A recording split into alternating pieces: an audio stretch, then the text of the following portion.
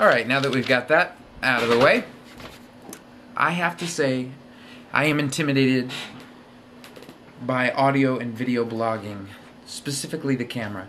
I don't know what the deal is, but this is the fifth time that I've recorded this stupid thing, and I'm just as soon as it comes on, I can't think of anything to say. I just my words get all caught up, and I end up saying stupid things, which is one of the reasons why I don't like audio or video blogging because I don't have a chance to craft my words to weigh them out, which you know, when you're in a conversation, and this is see when when you're in a conversation with someone, you have a chance to clarify what you say. So I can record something and I can put it out there and it can be misunderstood, but it's so much harder to go in and actually clarify what I'm trying to say.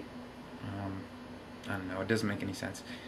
But uh, yeah, I don't really like it all that much. But I'm giving into peer pressure.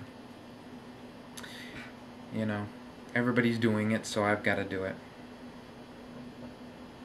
Actually, I think I'm disadvantaged here. Um, I am underprivileged because I don't have a southern drawl. And Andy does slightly.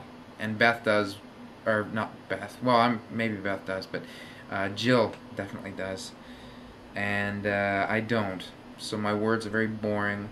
And maybe I should take on like a, a British accent as I do this. I don't know. Anyhow, I I have been uh, feeling rather under the weather as of late, and uh, it's been difficult because we've got a lot of things going on at church, and I've got a lot of projects that I'm working on for uh, my design business. Um, it, in the church realm, uh, we've been busy with the youth group and with the young adult ministry, and actually some really cool news. I found out on Sunday that one of the one of the girls who's in our young adult ministry actually got saved, and she was into Wicca, um, into Wicca for a while, and uh, it was kind of funny because in our Sunday school class we we spent some time talking about faith and um, holiness and you know what it means to be a Christian and. Um, then in the Sunday morning service, the pastor preached a very evangelistic message, and I, re- oh me of little faith, I leaned over to my wife and I said, you know, what's he preaching on a this, you know, gospel message for? It's you know, we only have like one visitor here. Um, but God used it, so and it ended up being a good thing. Um, I keep looking over this way. I live on the third floor of, a, of an apartment complex, and uh, I look out on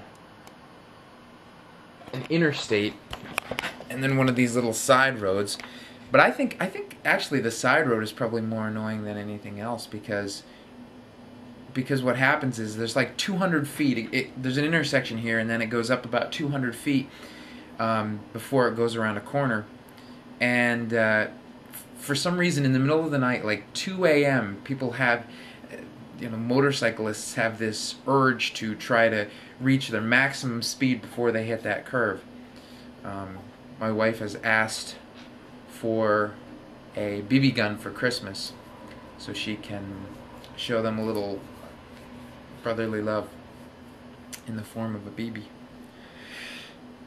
Uh, other than that, things are going pretty well. Um, I've been busy. I usually don't get to bed until 2 and get up around 7. Um, I actually should be probably leaving now because I need to head into church. Um, but that's my life, and I probably won't do this video, audio blogging all the time um, because I just don't have the time or the uh, or the stamina to do it. Um, but I will probably end it there.